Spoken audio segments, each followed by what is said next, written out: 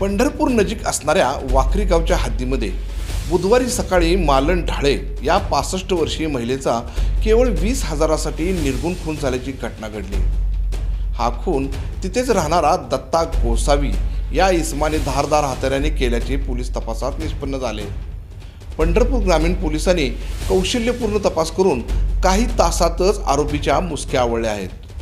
मात्र या घटनेतील मुख्य आरोपी पकडल्यानंतर मालन ढाळे यांच्या कुटुंबातील सदस्यांनी हा खून एकट्याने केला नसून यामध्ये आणखीन काही आरोपी असण्याची शक्यता व्यक्त केली आहे. याबाबत पंढरपूर ग्रामीण पोलिसाकडे अशी मागणी देखील केल्याचे समजते. पाहुयात या घटनेबाबत नेमकं काय म्हणाले ढाळे कुटुंबातील सदस्य? हनुमंत लहू ढाळे. माझी चुलती आहे. त्याची काल मर्डर झाला ती माझी चुलती आहे. ती चुलती कमीत कमी एकशे दहा किलो ते एकशे पाच किलोची चुलती वजनाची आहे.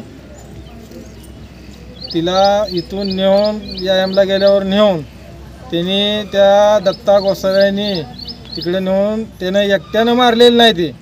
त्यात आणखीन दोघं चौघं आहेत. एकशे दहा किलो किंवा पाच किलोचे वजनाचा माणूस एकटा माणूस उचलू शकत नाही.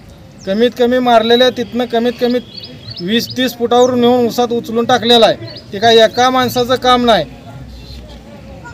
तरी पोलीस स्टेशन असो किंवा प्रशासन असो ह्यांनी व्यवस्थित ह्याचा चौकशी करावी. नाही जर केली तर आम्ही आमवर उपोषण करीन.